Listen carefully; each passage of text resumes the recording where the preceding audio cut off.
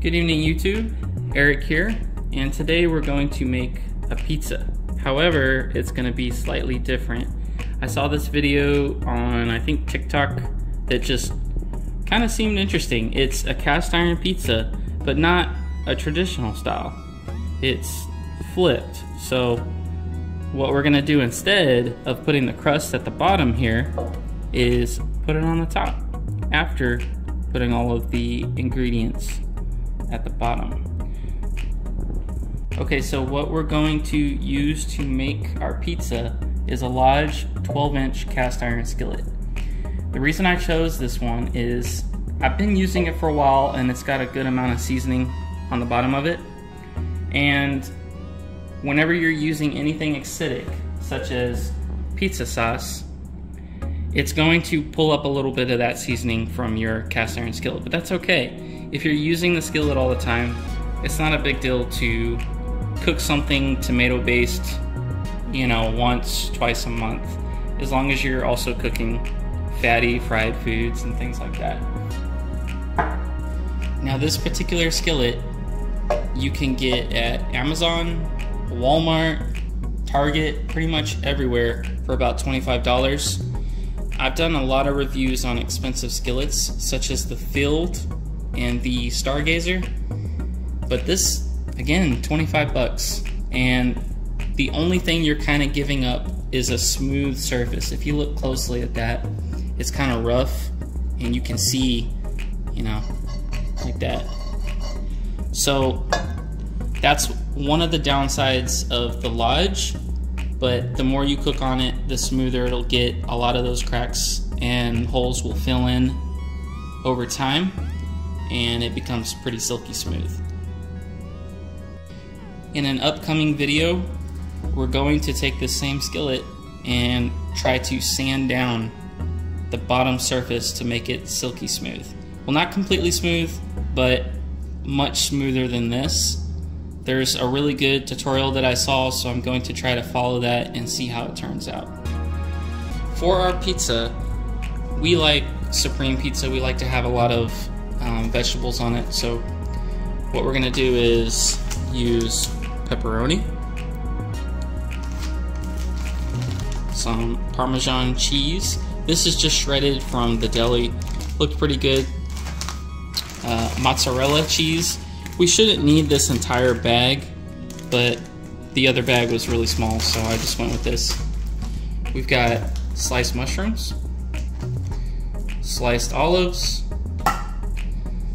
bell pepper, and a red onion.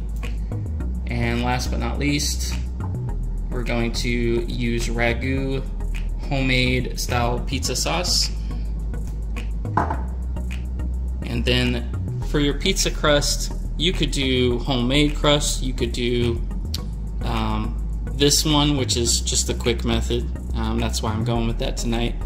Or you can even go to the bakery at your store and ask if they have fresh homemade pizza dough or bread dough and you could make your own.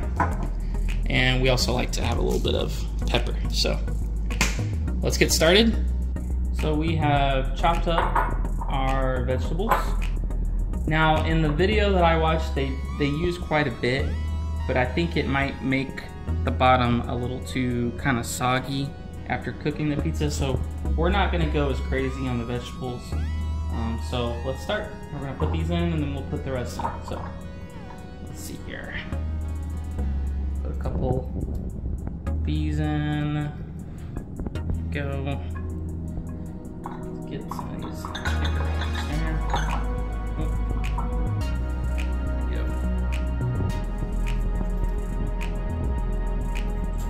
And I'm just gonna kind of spread it out a little bit. Go, maybe about three, four more, and then we're done with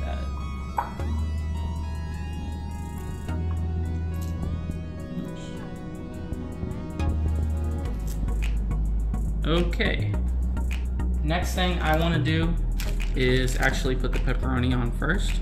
So and I want to say, I forgot to say, I line the bottom of this with olive oil. Um, so there you go. Put our pepperonis on.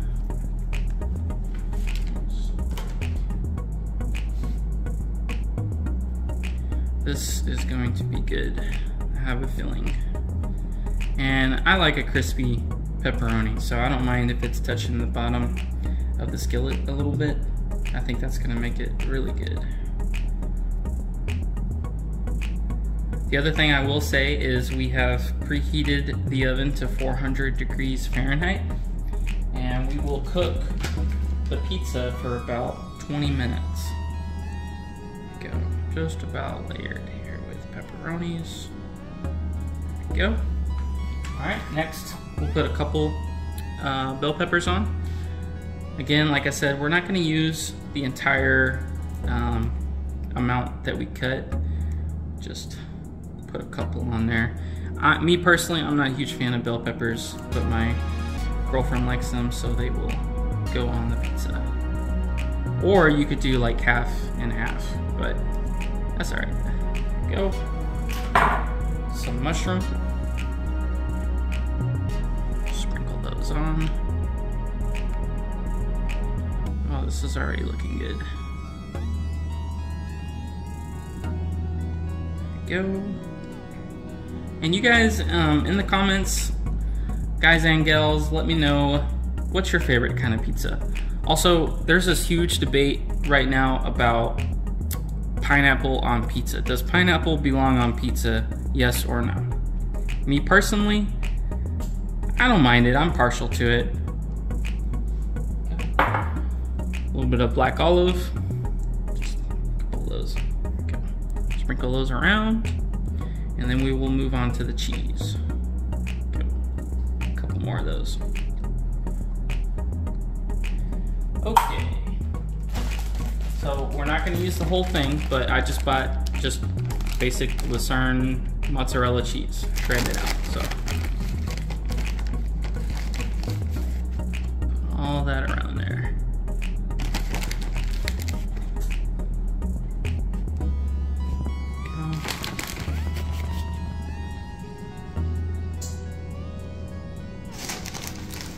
One more big handful here. Should be enough cheese. Okay, there we go. Doesn't that look good already? Next, we will do the pizza sauce. I just chose this. Um, I saw it, it says pizza sauce, so should do the trick. I don't know if we should use all of it. I'm probably just gonna pour a little bit, not not too crazy on there. So let's go in a little circle around here. Make sure. Go. Okay. So almost used all of it, but smooth it out just a little bit with a spoon.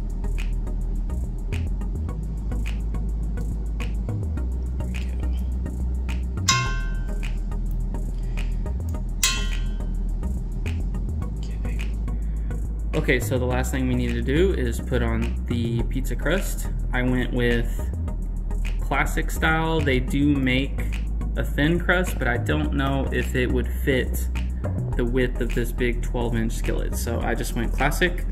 I will be right back as I try to open this. All right, got it open. Let's see how we do here. I have not used any type of pizza dough or crust like this ever. So this is my first time kind of learning here. I'm gonna roll it out and then, oh, okay. It's pretty straightforward. We're just gonna lay it on here and we're going to try to stretch it out a bit. It's very stretchy, so don't do like me and try to end up like with uneven spots. I'm gonna try to stretch this out a bit better. Yeah, this needs to go over here a little bit. And you just want to kind of roll it up on the side. I think that looks good like that. Go. It's not too bad. This piece here will be a little thick, but that's okay. And there we go. We've got our pizza crust on. We're just gonna put a little bit of this olive oil on here. So just pour just a tad bit, and I'll use the spoon to kind of spread it around.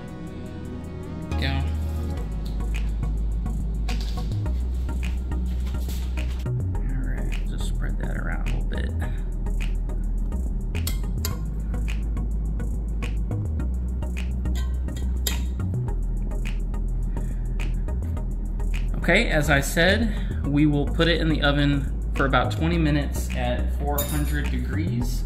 And if you would follow me, please.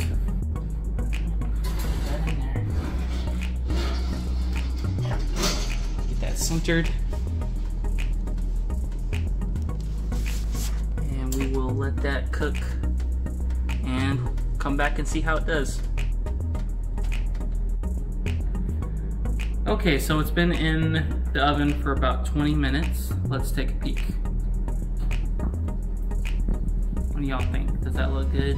Let's pull it out. Oh, that's perfect. Oh my god, that's heavy. Here we go. Ugh. Okay, me.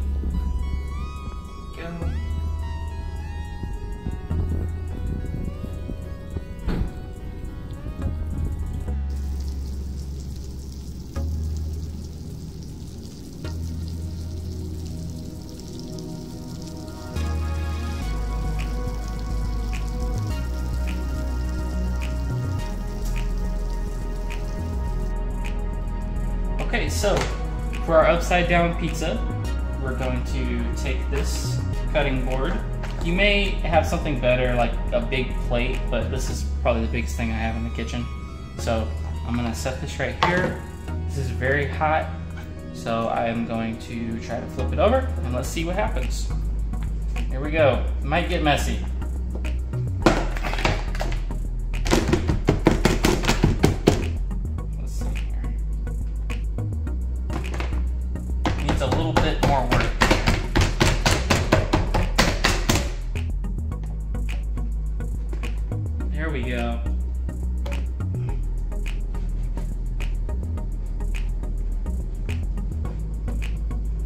Oh no!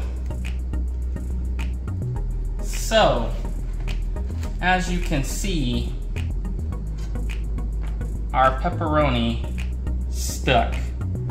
So I'm gonna call this a fail, unfortunately.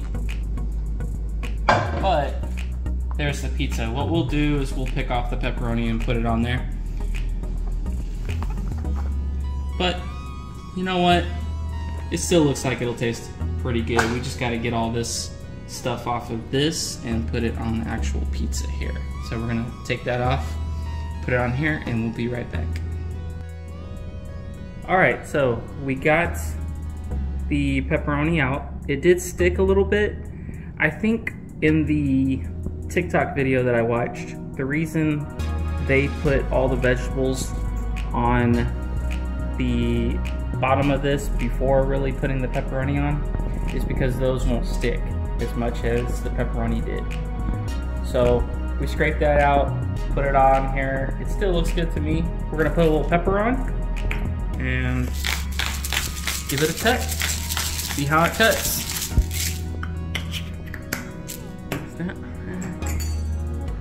Let's see here. Go.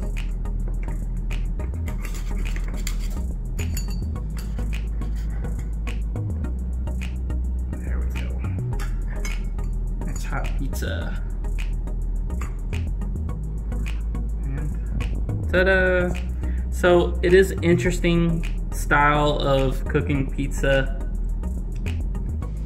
All right, let's try a bite. See how. Ooh, it's still hot.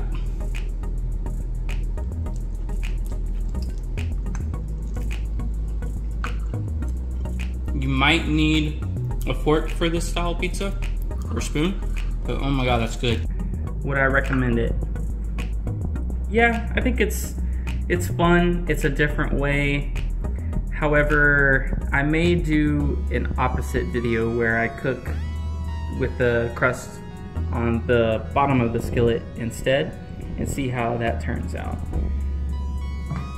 All right, well, please like, share, comment, subscribe.